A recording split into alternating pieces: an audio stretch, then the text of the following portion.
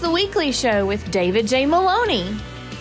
This week, David chats with Jesus Revolution director Brent McCorkle. And now, here's your host, David J. Maloney. Welcome, everyone, to the weekly show. I'm your host, David J. Maloney. This week, we talk to a director whose work includes the films Unconditional and I Can Only Imagine, and whose latest film is one of the most anticipated films of the season, Jesus Revolution, starring Kelsey Grammer and Jonathan Roumie. We've got none other than director Brent McCorkle with us tonight, so don't go anywhere. We'll be right back.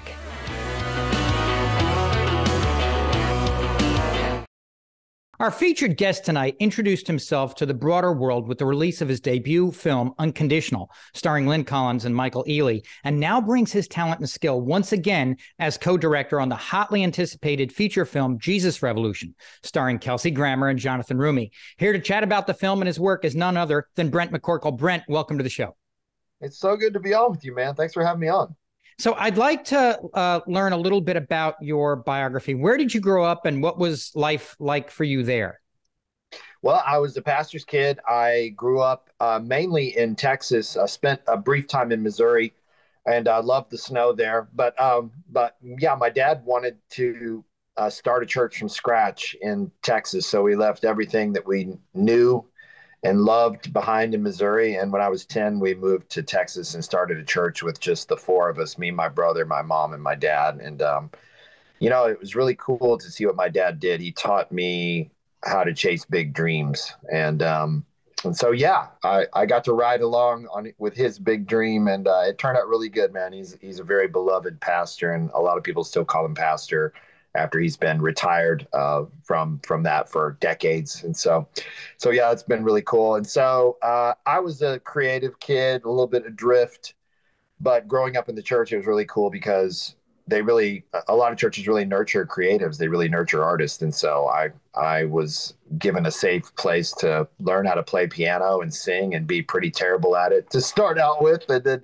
over time, you know, I got better and. Um, acted in some dramas, sang in some musicals, and I really I don't know if you're familiar with any Malcolm Gladwell work, but he he says if you if you want to get good at anything, practice with effort and intensity for 10,000 hours. 10,000 hours, yeah. From there I um I I got married, I had kids, I I um got into a career and late in life again this kind of a drift artist i didn't realize how much of an artist i was but after i switched majors five times you know and was married, I realized I wanted to be a filmmaker. I, I'd always loved movies since I was a kid, and so I went to to college here in the Dallas Fort Worth, Texas area. Took some film classes and started making a bunch of short films. And some producers saw me. I'd made about 50 short films at, at that point. So some producers saw one of my shorts in a film festival, and they invited me to to be their filmmaker for the movie that you you said at the top unconditional. So i moved my whole family similar to my dad moved my whole family to nashville and uh, made that movie and that was my first feature. And, and from there i i um, met jon and andy and have had multiple multiple wonderful collaborations with those guys. And jesus rev i think being by far the the greatest one so far uh, were there films or certain experiences that made you decide you wanted to pursue cinema as a career? I had an, an awesome experience when I was younger. I tell this story a lot, uh, but uh, my dad, you know, came home with a bootleg. He didn't even know it was a bootleg. It was just given to him by a friend of a friend, but it was a bootleg of Empire Strikes Back and Raiders of the Lost Ark. And if you're an 80s kid, you'll recall that both of those movies took forever to get to VHS. And so I I was one of maybe three kids in America that had those movies on tape. Uh, and my brother and I wore that VHS tape out. We stopped counting when we watched them 40 times each. And wow.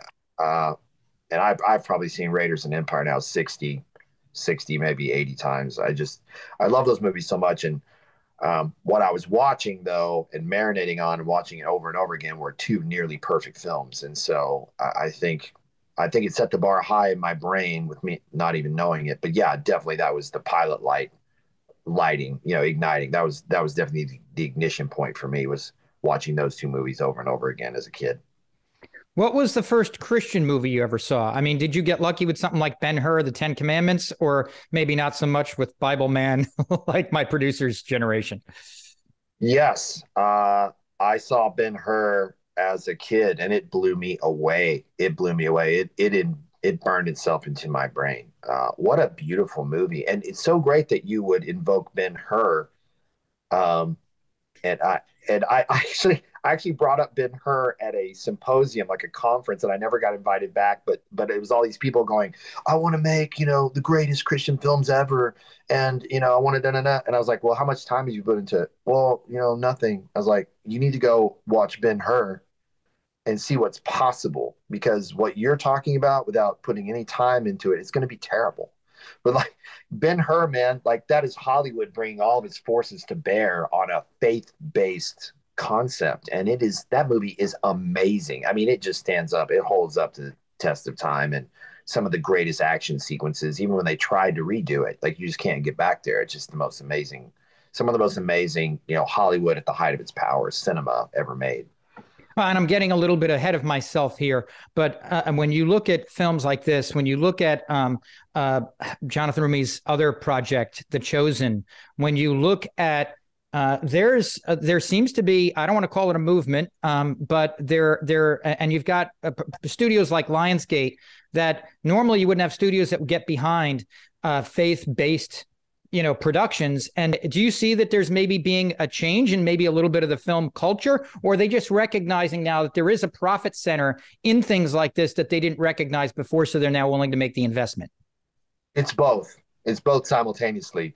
So what you have is some the film kids that are slowly growing up and like i just turned 50 but over over decades of time you you beat yourself up you whip yourself you want to be better and better and better at every at every pass. So the people that have stayed in faith, that actually care about the quality, that actually love Hollywood's bar, those people we're, we're continuing to get better. You know, so like if you even look at my movies, like they've continued to improve because I'm working actively to do that. That's one thing I applaud about Jon and Andy and Dallas Jenkins. Uh, we have this high benchmark of quality in our value system, whereas a lot of Christian filmmakers don't, and that that breaks my heart. Honestly, I think if you're going to attach Jesus to something or God, you know, it better it better rock. You know, it better like destroy out there. Like it better be excellent. So, other than your own film, Unconditional, what was the first movie of the modern faith-based film era that made you go, okay, this is different. This is actually a good film on its own merits. Yes. Oh man. Um, can I ask you some questions? You know, I guess I was like, what would you? For me, it's it's always so dicey to get into this stuff because I have a different take on faith films. So I think there's there are like faith films that are designed to entertain Christians, and then there are films that just grapple with faith, and they're they're made for the mainstream, but they have a faith component. So I guess in your mind which of those well the interesting thing is is i i had the opportunity to get uh, to to pre-screen Jesus Revolution. My I I went into that theater thinking it was going to be the latter, thinking that it was going to be a story that was on its own merits that might have a faith-based undertone. And I came out, let's put it this way, it snuck up on me. I came out going, you know, oh wow, this has a much stronger faith component to it. It's still here it stood on its own merits, but it also still, I mean, there were three times in the movie where I shed tears. Yeah. Um, awesome. and, and, and, uh, and my wife, she shed tears throughout it. Um, she was touched very much by it. So, so it's interesting because I, I see how you're saying there's di- this dichotomy between the two. I think, I think your present movie kind of, I think blended it well. Oh man, that makes me so happy. So uh, the reason why I say that is there are movies uh, that I that are so faith affirming to me, but are offensive to others because like, well, that's not Christian entertainment. That's that, that doesn't affirm my faith. But like, so uh, M Night Shyamalan, uh, Signs, I'm very moved by the faith story in that. Uh, there's a little indie movie that Ryan Gosling did called Lars and the Real Girl, where he's mentally ill and the community comes around him and tries to help him, and they actually have the thematic discussion of the film takes place in a church, and literally the priest asks, "Well, what would Jesus do?" And then they just get around this guy and start loving him, and that's just a mainstream indie movie. So there are movies like that that I really applaud because I think it's it's hard maybe in Hollywood to to bring to do a faith uh, um, you know a faith adjacent uh, storyline. Um, and then but then you have like on on the on the other side of the spectrum you have films that are made for the church, right? And so so what's interesting with Jon and I uh, is we're different and my it was really cool directing this because we made the same movie. We were totally on the same page, but I think our hearts are go out to two different audiences. And so I think you I think we might have threaded the needle on this one. Like my stuff, I just I wanted to go out to the mainstream. I want the atheists to watch it and cry, and I, I want the hardcore entrenched evangelicals, you know, to watch it cry and everybody in between because I do think there are universal themes and I think God's love is trying to get to us in a myriad of different ways. And I don't think that necessarily always has to be through preaching. Uh, but at the same time, Jon really has a heart for this underserved entertainment market, which is the Christians, because they have been they have been underserved from Hollywood. Let's be honest, you know. And I think that might be changing, and and um, and I really hope that it is. But together, I think we threaded this needle, perhaps what led to your original team up with the Erwins uh, for like I can only imagine? How did that come about? Yeah, uh, we all had a mutual respect for each other. Um, we both had ties. We all had ties to Nashville.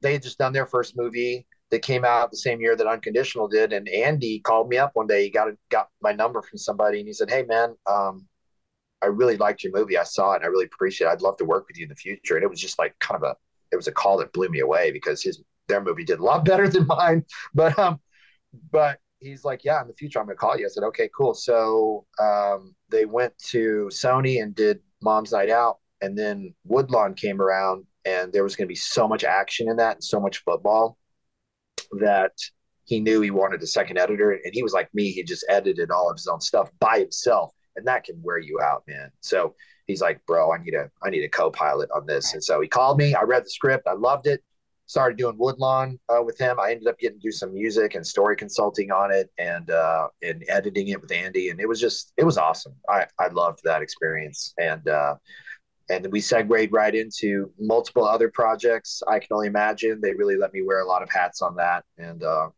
that's where I started telling everybody I was the adopted uh, Erwin brother. You know, I was the third Erwin brother. Um, but uh, yeah, man, we've we've collaborated on five or six things now. Um, I feel very fortunate. Jon Jon was really passionate about Jesus Revolution. and he's really passionate about his next film that he's working on um, called Fearless, which is a, a Navy SEAL movie, a amazing book. Um, so what happened was Jon still wanted to collaborate with somebody, so I got the invite to to be the co on this, and I brought my thing to it. Jon brought his thing to it, and we had the most amazing cast and crew on this, and everybody brought their thing to it. And so it's definitely a movie that was raised by a village and we just had some amazing, amazing quality people. Uh, but yeah, the, to go back to your question, we met out of like a mutual affinity and respect because we're like these boys in the South, like trying to make life affirming, you know, redemptive, um, uplifting content. And, uh, and we had our first feature films come out, you know, the same year. So it, that's, that's how we found each other really. When was the idea or script for Jesus Revolution first brought to your attention? That's a great question. Um, we were working on Woodlawn. Woodlawn takes place in a similar time. Uh, it's a film about a school that had been recently desegregated, and the Jesus movement had started sweeping the country. And this chaplain goes in, and he's basically like, hey guys, you need to put aside your differences. It's about Jesus and it's about the love of God. You guys need to like start loving each other. And they and they do.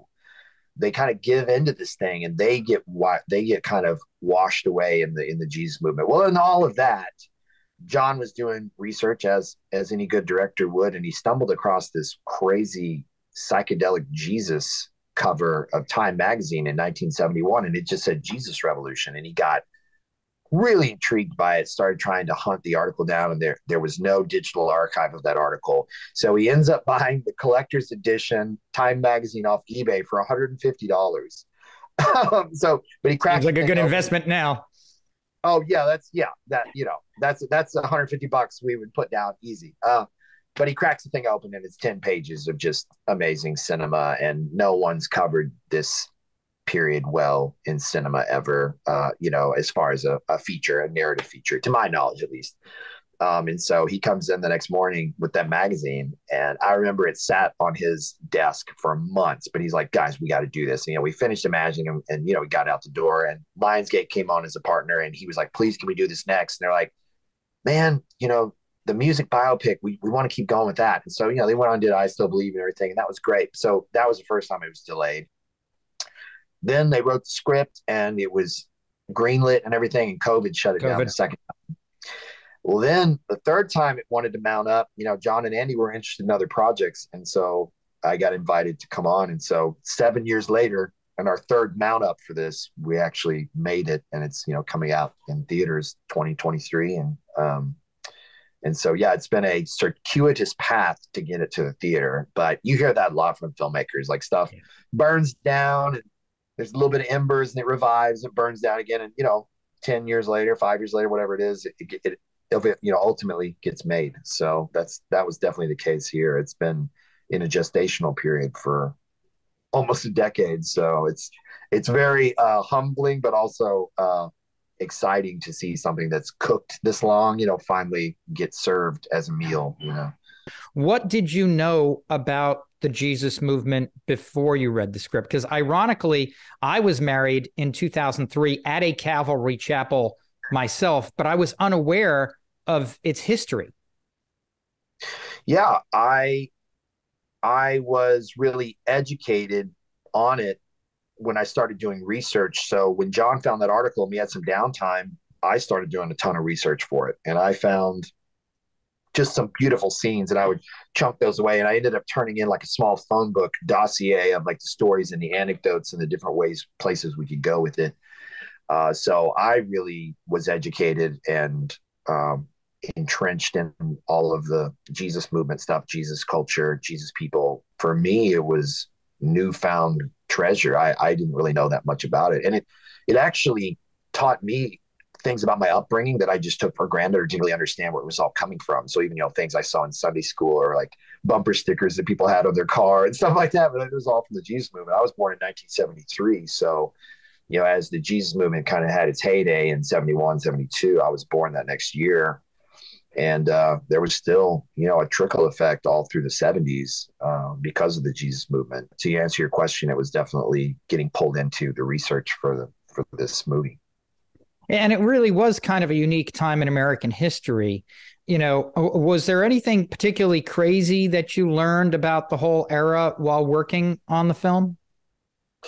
Yeah, there was just such a despondency pretty much across the the world. You know, the there were political assassinations, JFK, Bobby, you know, Martin Luther King, the the epitome and the height of the civil rights movement, which continues today. You had our own state troopers gun down uh, American students on American soil. Uh, the Cold War, you know, the the countercultural movement, all the kids dropping out uh, and just running away. I mean, it was a dark, dark time. It was divided. People were yelling at each other, and um, quite frankly, you know, people thought the world was going to end and that, it was all going to be over. And so, so yeah, man, it was a, it was a, a, wild time to drop into and think what it would be like. I think my mind took me back to what would it feel like if my president got assassinated? Like that, that just had to be some sort of like the most immense psychic trauma to a nation that, that could really happen. Um, so I, you know, I tried to dwell on that and think about what that would feel like and all the uncertainty. Um, but the interesting thing about it is, I think we find ourselves in a uh, a similar place with the divisiveness and how divided our country is, and everybody would rather scream at each other in all caps on Facebook than actually sit down and have a uh, a civil conversation and agree to disagree. You'd rather like it seems like it's gotten easy, and I'm talking about outside the church, but also inside the church. Maybe inside the church even more, but it's got a lot easier to hate your enemy than it is to like sit down and have a conversation with somebody. Well, that that's interesting because there seems to be a parallel with what you just said with certain scenes within the movie when the so-called hippies started to come into the church and the for lack of a better way of putting it church elders who were more conservative were none too pleased with these people with bare feet coming in and they were more concerned about their carpets getting you know saving their carpets than saving their souls yes man. Um i guess for me and this these words are kind of blistering and they're blistering to my heart too and they should be but there's there's your tradition and there's your your ideologies uh, politically or otherwise and then there's what jesus did. And jesus hacked the traditionalists and the moralists of his time and eh, if he had just been a typical rabbi just taught in synagogues and just stayed inside the synagogues and taught taught from the scripture you would never know his name there would not be a religion built around him the whole idea of of what he was trying to show you was they're hurting people out in the world. Get outside the church walls and go be with the people and love on everybody. He hung with the marginalized groups. He was criticized for them. He wasn't even culturally, he wasn't even supposed to talk to some of those people, but he did, you know? And so I don't know, man. I just find his life so inspiring and beautiful to me and and loving. And he went out of his way to love and care and meet people's needs. And um, it seemed like the only time he would ever like raise his voice or get really frustrated was was when tradition was getting in the way of actually loving God and following God and loving people. And so, so yeah, man, that, that's a little bit of my uh, the the drum that I bang. Uh, uh, you know, I you, you, get me get my dad's DNA coming up in me. I'll start preaching a little bit, but um, that's, that's funny. Well, I don't necessarily disagree because in every faith and in every um, uh, there, there's there's always going to be some group that kind of is our modern day uh, group of Pharisees. Yes, yes, we we did it, and we gently did it, but we, uh, you know, there were preachers at the time that were just so adamant against uh, the Jesus movement. They thought it was wrong. Um, and i just i don't get it man i don't get it like everybody is made in god's image everybody's a child of god everybody is worthy of love and jesus said even if you do choose to have political enemies um, in this country and you you actually view your neighbor who's flying whatever flag you don't fly in your yard uh, mm-hmm. you know uh, if you view them as your enemy uh, Jesus actually has a message for you too. Like we're we're to love our enemies, and so so until we get back to that you know i think we're going to continue to be spun out as a culture. And and i'm talking to, to culture at large. I don't i don't want to pick on the church. I think it's pervasive and it's it's really uh, a virus that's infiltrated our entire culture you know. And I, I hope when people go see our movie, they're just going to feel that this was crafted with so much love and it's about a conversation and it's more like come to the table and let's talk. It's invitational and it's it's very loving and and for me, I really feel the spirit move in that arena of like what we were trying to build as opposed to something that continues to divide. That's our show for tonight. Thank you so much for watching. A special thanks to Brent McCorkle for joining us. Uh, he'll be joining us again next week for part two of our interview. Stay safe, everyone.